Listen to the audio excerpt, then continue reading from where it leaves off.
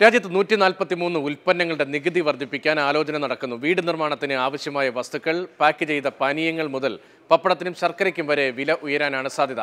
നികുതി വർദ്ധിപ്പിക്കുന്നത് സംബന്ധിച്ച് ജി എസ് ടി കൗൺസിൽ സംസ്ഥാനങ്ങളുടെ അഭിപ്രായം ആരാഞ്ഞു? പെട്രോൾ ഡീസൽ പാചകവാതക വിലക്കയറ്റത്തിൽ പൊറുതിമുട്ടിയ ജനങ്ങൾക്ക് മുന്നിലേക്ക്. വിലക്കയറ്റത്തിന്റെ പുതിയ ഒരു പട്ടിക കൂടി. വീട് നിർമ്മിക്കുന്നവരെയാണ് ജി എസ് ടി കൗൺസിലിന്റെ നിർദ്ദേശം കൂടുതൽ ദോഷകരമായി ബാധിക്കുക. പ്ലൈവുഡ് ജാലകങ്ങൾ സ്വിച്ച് സോക്കറ്റുകൾ സിങ്കുകൾ എന്നിവയുടെ ജി എസ് ടി പതിനെട്ട് ശതമാനത്തിൽ നിന്ന് ഇരുപത്തിയെട്ട് ശതമാനത്തിലേക്ക് ഉയരും. നിലവിൽ നികുതിയില്ലാത്ത പപ്പടം ശർക്കര എന്നിവയ്ക്ക് അഞ്ച് ശതമാനം നികുതി ഏർപ്പെടുത്തും.